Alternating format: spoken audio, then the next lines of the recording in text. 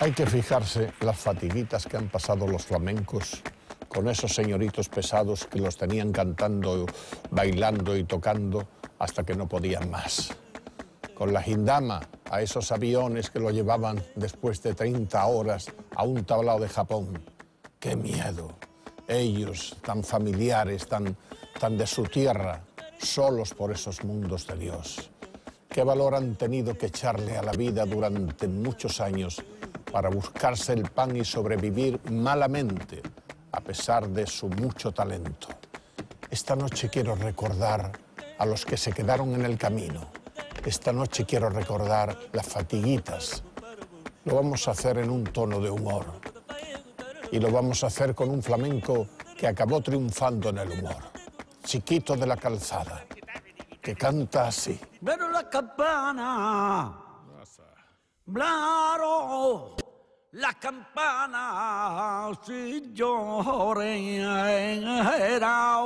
hace mi mayor dolor.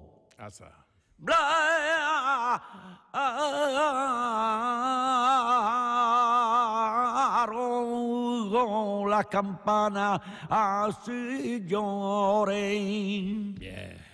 Era que la madre mía esta mañana grita. Ay,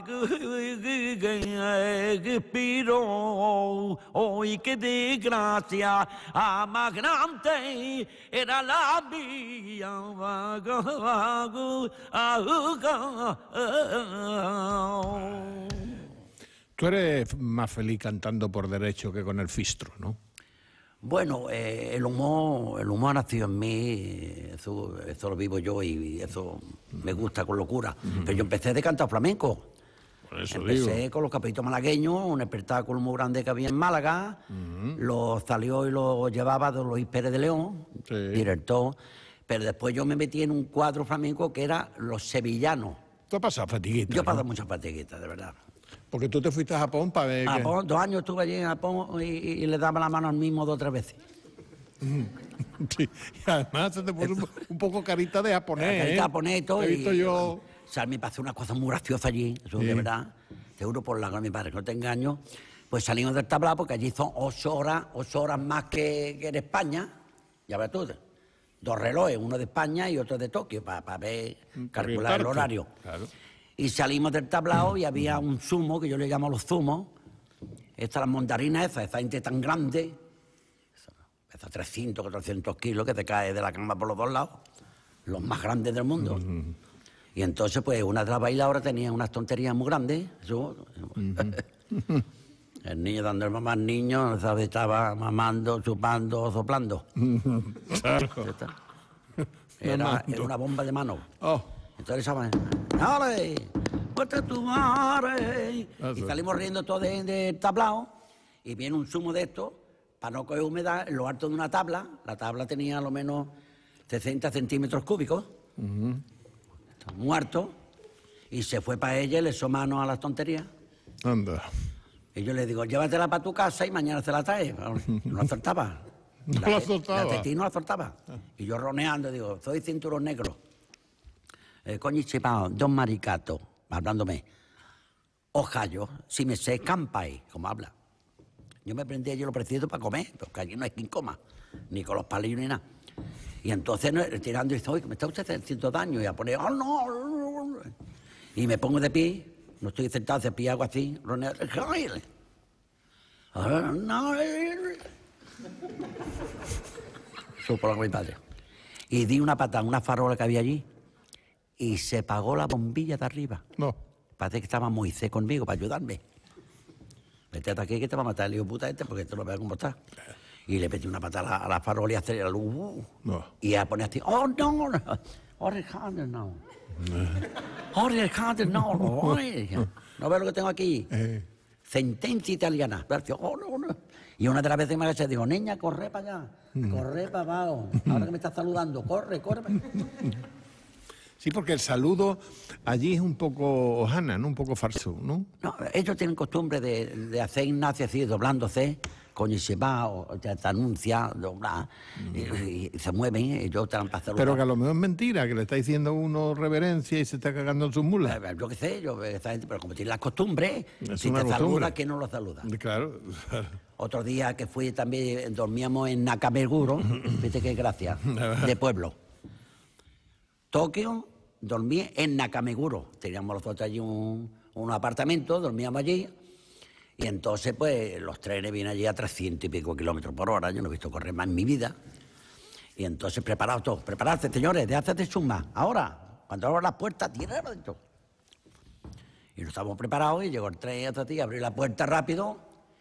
Yo cogí una velocidad, mira, se corrí que salí al otro lado del tren. Te lo juro por la de mi madre. Qué horror. Y yo digo, "Ay". y los artistas, cinco, que- cinco estaciones, quiere decir, de allí, allí, cinco para quedarte allí.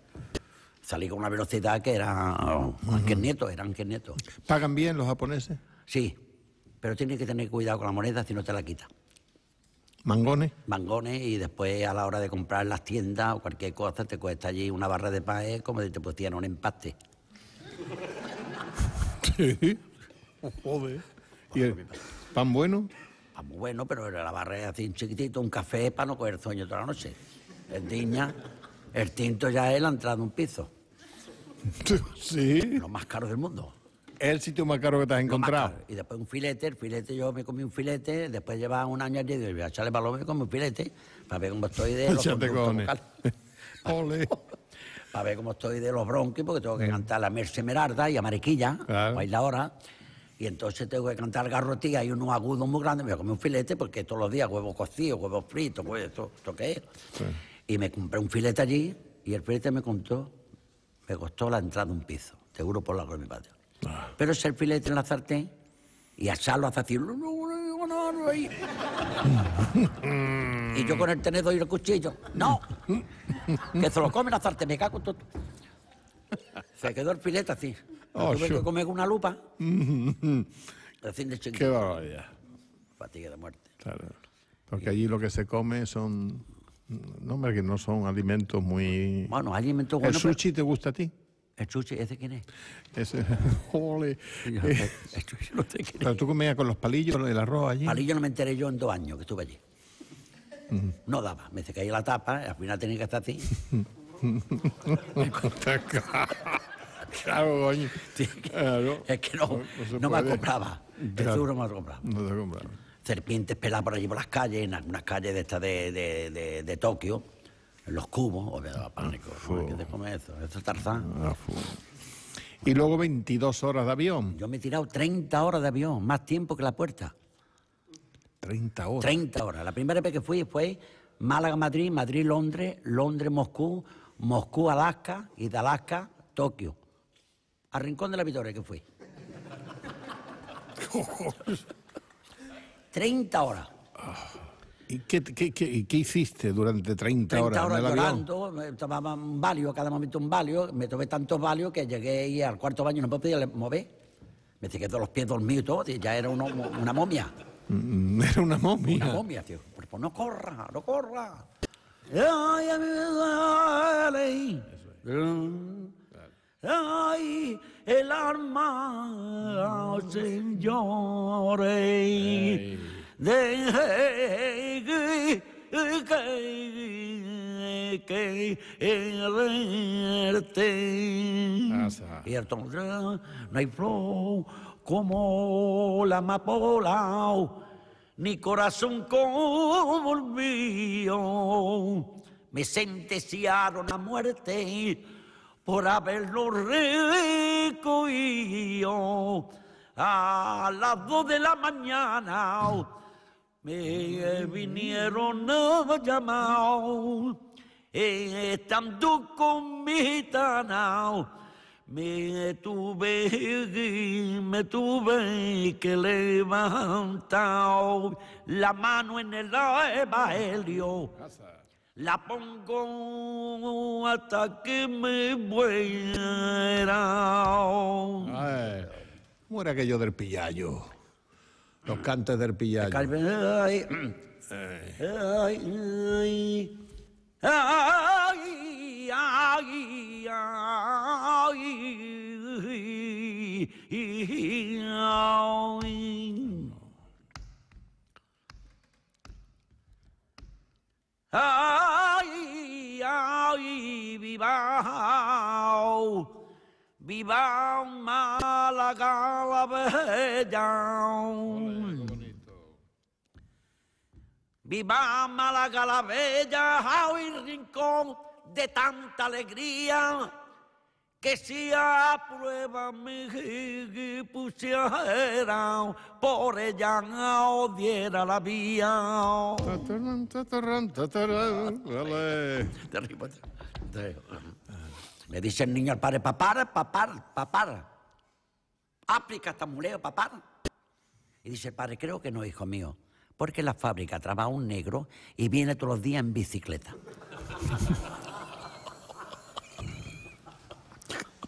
Ole. Pero otro- le dice el niño al padre, papá, papá, papá, eh, anoche vi una pared en el campo haciendo una guarrería española con el cuerpo humano, papá. Y dice el padre, cobarde. ah, con que tú eras el de la linterna.